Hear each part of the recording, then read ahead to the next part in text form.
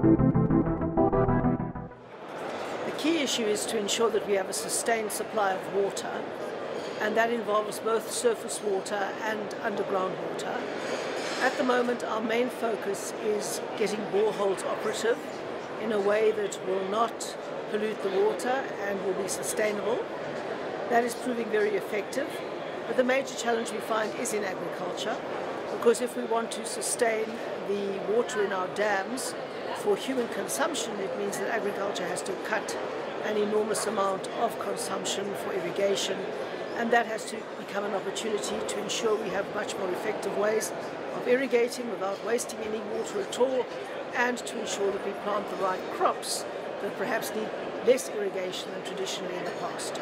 So this is a major transition for agriculture and we're hoping to use it to create a new water industry and to create a sustainable agricultural base that isn't so vulnerable to climate change.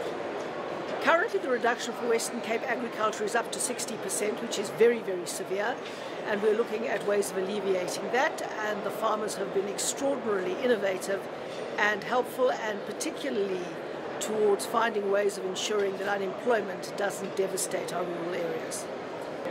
But we don't have a problem about the land tenure crisis in the Western Cape.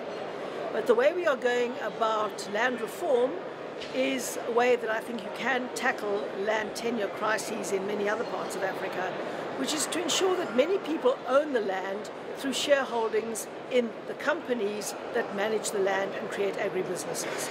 And that's what we've been pioneering. It's been enormously successful where it's been tried and we need to try it much more broadly. Yes, there are about 80 uh, projects in which we have cooperative ventures in this province, in which we have equity share schemes in farms and they're working very well. I would like the Western Cape to be able to contribute our insights, our knowledge, our capacity, our technology to the new fourth industrial revolution agricultural economy of the world. Well, our farmers are in general much less supported by the state than in most of those countries. But despite that, they're enormously competitive. Our wine exports to China are up by 80%.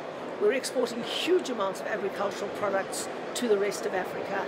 And things are far better than one could ever have expected in a dry climate. Our farmers are of the best in the world and they are producing the most exceptional products on the basis of unfertile land and exporting to the rest of the world.